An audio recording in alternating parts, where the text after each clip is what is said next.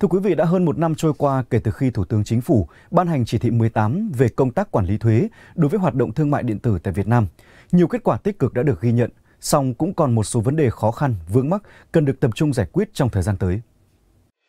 Việt Nam được xác định là quốc gia có tăng trưởng về thương mại điện tử nhanh nhất khu vực Đông Nam Á. Hiện nay, thương mại điện tử của Việt Nam là 20,5 tỷ đô la Mỹ và sẽ đạt 30,5 tỷ đô la Mỹ vào năm 2025. Từ đó đặt ra yêu cầu về quản lý thuế, quản lý về chất lượng hàng hóa, chống lừa đảo.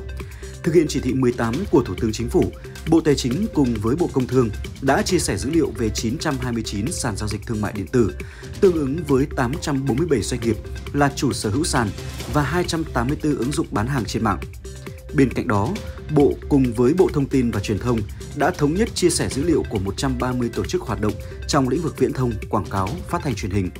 Trong quản lý, Bộ Tài chính đã áp dụng định danh và xác thực điện tử đối với cá nhân thực hiện đăng ký kê khai nộp thuế, dịch vụ chữ ký số, viễn thông, tên miền,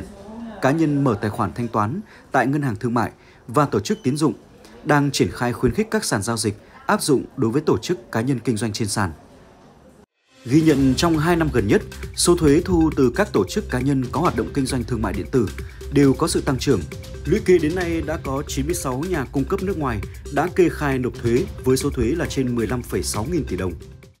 Báo cáo tại hội nghị sơ kết một năm tháo gỡ điểm nghẽn trong triển khai đề án 06 và đẩy mạnh kết nối, chia sẻ dữ liệu phục vụ phát triển thương mại điện tử, chống thất thu thuế của chính phủ diễn ra ngày 10 tháng 6. Bộ trưởng Bộ Tài chính Hồ Đức Phước đã kiến nghị một số nội dung để quản lý hoạt động thương mại điện tử hiệu quả hơn trong thời gian tới.